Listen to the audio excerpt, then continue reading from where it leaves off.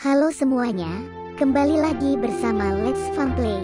Pada video ROX kali ini, Guilotin Cross Doge dan si kembar twinsnya Ego yang telah kita simak bersama. Di video-video Let's Fun Play sebelumnya, akan mencoba menaikkan level SE dari 4 ke 5, bagaimana kisah dan progres equip dari sepasang third job GX ini melalui Video ini mari kita lihat bagaimana pengaruhnya item baru Blazing Mark dalam meningkatkan keberhasilan dalam mengetok-ketok senjata Shadow Equipment tersebut. Apakah lebih mudah naik ataukah masih alot seperti tanpa pakai item tambahan Blazing Mark tersebut? Yuk mari kita simak saja bersama. Lokasi pengetokan juga akan dicoba di beberapa tempat dari yang paling klasik Guild. Teritori depan patung, nah ini pada waktu fitur Blazing. Mark belum dirilis, Doge pernah sekali ketok di sini. Dan gagal dengan 60% chance rate, nah dengan item Blazing.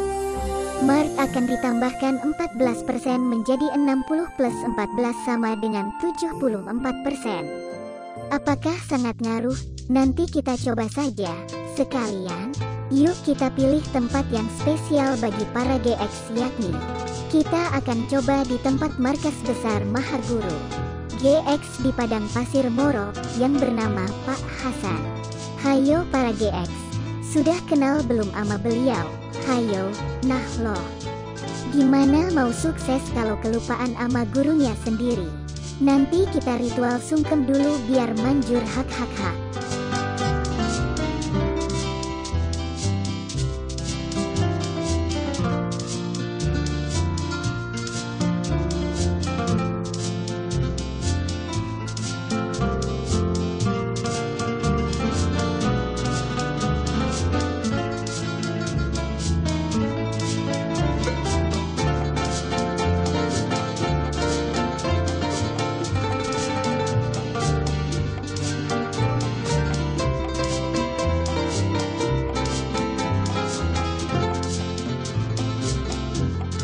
Nah setelah naik, kita naikkan juga level skillnya, dan kita tes di training ground, oh ya jangan lupa, selain si Doge, ada si kembar Egot loh, dengan hoki berbeda, tonton.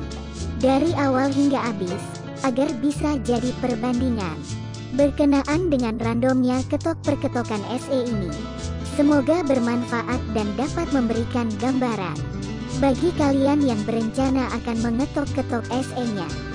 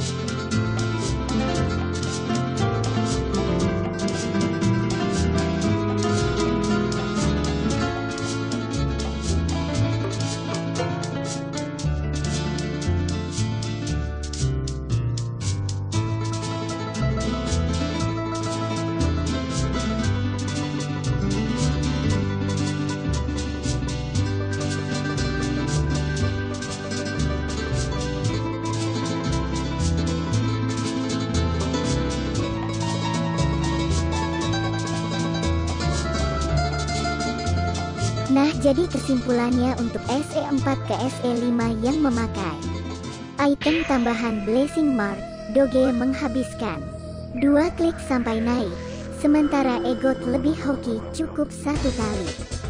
Jadi bagi kalian, lebih baik disiapkan saja bahan lebih. Dan pertanyaannya apakah worth? Ya tentu saja wajib untuk dicentang kalau untuk menaikkan base SE-nya. Karena item Blessing Mark tersebut sangat mudah mendapatkannya. Cukup sambil smelting senjatanya di NPC, maka akan dapat. Jadi kalau tidak dipakai yang nganggur juga, tapi untuk yang skill-skill SE-nya, kalau di atas 80% sepertinya tidak perlu. Tetapi karena sangat melimpah, baiknya dicentang saja. Nah apakah ritual ke Pak Hasan untuk DX adalah sebuah klik atau tidak? Tak ada salahnya dicobakan, siapa tahu akan lebih manjur juga hihihi. Nah apabila kalian ingin share pengalaman kalian, silakan di bagian komentar. Terima kasih. Semoga video kali ini menginspirasi. Apabila Anda suka dengan video ini, jangan lupa like. Bila ada yang masih ditanyakan, silakan komen di bawah.